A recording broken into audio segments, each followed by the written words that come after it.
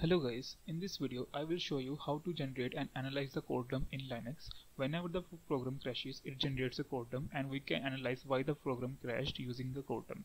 We can analyze core dump files using GDB. Okay, so let's get started. Firstly, we will create a main.c file. So I've already created it for you to give the tutorial in this. So this is the main.c file. So what we are basically doing is uh, I have created a pointer p and I initialize the pointer as a null pointer okay? So this is a null pointer. And now in the printf statement uh, let me zoom now in this printf statement I am trying to dereference this null pointer okay? As you can see this is I am dereferencing so uh, we can't dereference a null pointer. So it give it will give a segmentation fault okay so if I try to run this program it will give me a segmentation fault. So that segmentation fault will generate a core dump. Okay.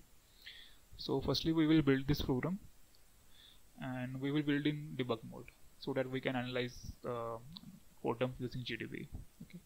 So for that uh, we have to write gcc minus g minus o main main dot c. Okay. Now the build has been completed. Let me see. So th this main file has been created. Now we have to follow some steps before uh, generating segmentation uh, now core dump okay so I have written the steps here in step.txt file. So let me show.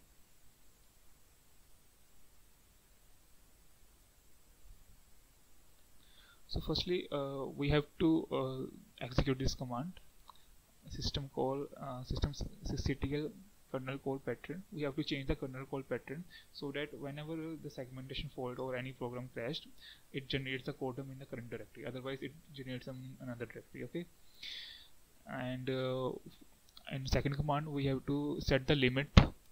U limit minus c unlimited. Set the limit to unlimited so that uh, it always generate core dump whenever the program crashes. And then we can analyze the core dump using GDB okay so first we will execute this command. Copy it and then paste it here. Okay we will try with sudo.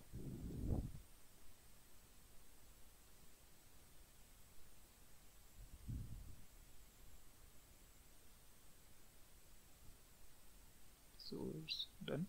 Now we have to uh, execute this command